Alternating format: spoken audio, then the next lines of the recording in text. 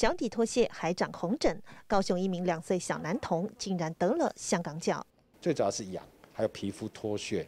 他如果厉害的话，吃到指甲会造成灰指甲的症状。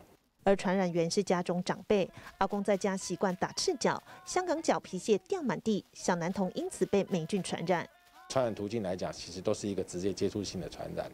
那如果说有些人香港脚的话，他可能会有手部分部分也有一些霉菌感染的情形，就直接带到小孩子身上。香港脚不容易根治，家中患者最好一起治疗，避免交叉传染。四十四岁的吴先生多年来饱受香港脚困扰，很难根治。对，他会一直重复，一直重复，就是一回到家就马上洗脚，洗脚然后保持干燥。医师说，香港脚患者年龄层以老人家居多，保持环境干燥、勤洗手都是避免霉菌感染的方法。大爱新闻黄子玲、林新红台中报道。